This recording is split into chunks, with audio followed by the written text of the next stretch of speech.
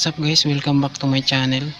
Yan, so ngayon guys, bali nagpipintura po tayo nitong mid-high box.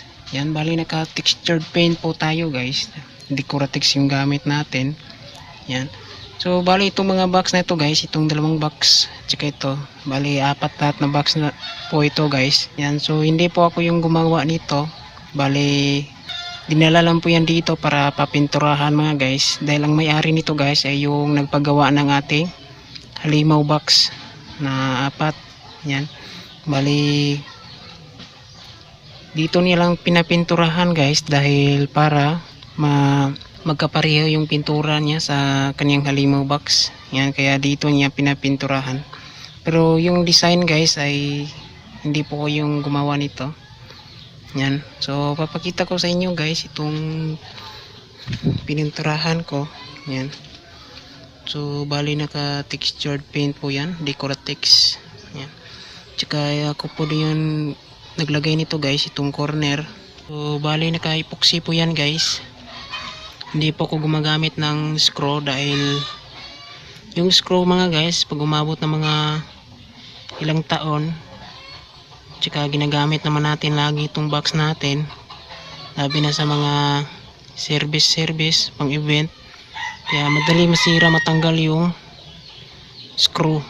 Yan kaya technique ko guys epoxy yung ginamit ko. Yan so ngayon epoxy kong ginamit ay marine epoxy para same lang na sila ng color ng corner guard. Yan dahil yung all purpose na epoxy guys ay color orange.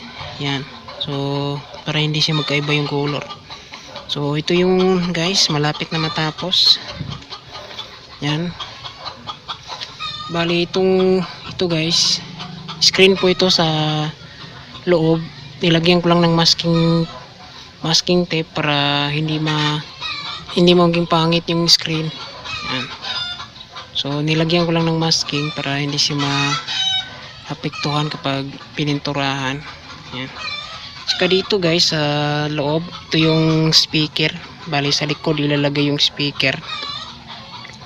Lalagyan ko pa ito ng spray screen dito.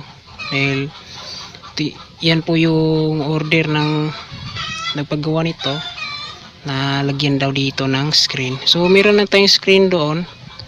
Kinat na natin. Lalagay na lang natin to pag okay na. Yan dahil sa huli ko lang ilalagay yung screen. Yan. Para madali lang tayo matapos. Dahil kapag lagyan ko lagyan ko ng screen tapos hindi pa tayo nakapintura ay malamang ma-apektuhan yung screen. Kaya sa huli lang natin ilagay yung screen. Yan. So yan ang pong design. Bali sa Mandawi Cebu po niya to pinagawa So maganda yung pagkagawa niya mga guys. Tali kinunan ko lang ng sukat para makopy ko rin yung kanyang design. Yan so wali apat po ito lahat. So ito yung back side niya. Yan. So ito yung likod. Yan so kinunan ko na to ng sukat mga guys. Yan tsaka i-video ko rin ito kapag gagawa ko ng sample nito para may share ko sa inyo kung paano natin to gawin itong design na mid box. Yan. So parang ilo-ilo style po ito guys na design. So dito i daanan ng speaker. Yan dito sa likod. Meron tong takip guys. Yan. Yung takip. Nandun yung takip. So dito ipapasok yung speaker na 12 inches. Yan. Kasya naman dito yung 15 inches mga guys kapag pwede natin ilagay ng 15 inches. Yan so nakatinat yung lock ng speaker. Yan. So bali dito lang natin to ilagay yung screen pag matuyo na tong pintura. So haklap lang natin dyan yung screen para safety yung speaker. Ayan. So ito naman yung lagyan ng speak on dito. Bali dalawang butas po yan guys dahil itong isa ay para sa twitter. Bali dual speak on yung twitter saka dual speak on yung speaker. Yan. So same lang po sila guys. Bali dalawa dalaw dalawang speaker para Twitter at saka speaker. Yan. So malapit up to matuyo guys. Tsaka pag pero pag finish nito guys ay try ko din lagyan ng speaker kung ano ba talaga yung tunog niya.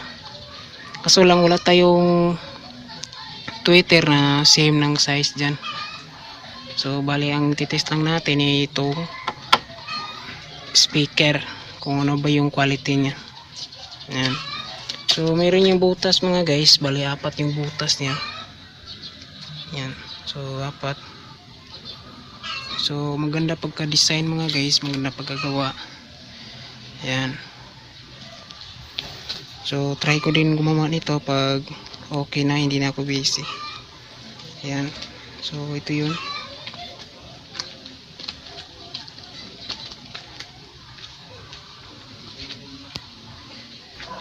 So ito yung takip mga guys na tinanggal natin so pininturahan din natin guys. Yan. So texture yung gamit natin na Decoratex yan. So Decoratex. So meron din tayong tu- tutorial dyan paano natin magmix ng Decoratex para maging mukhang simento yung final yung kanyang finish. Yan. So yan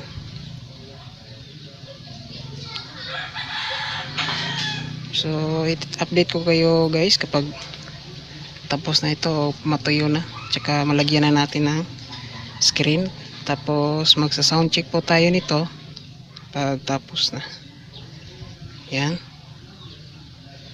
So, yan lang po guys. Thank you so much. Tsaka God bless.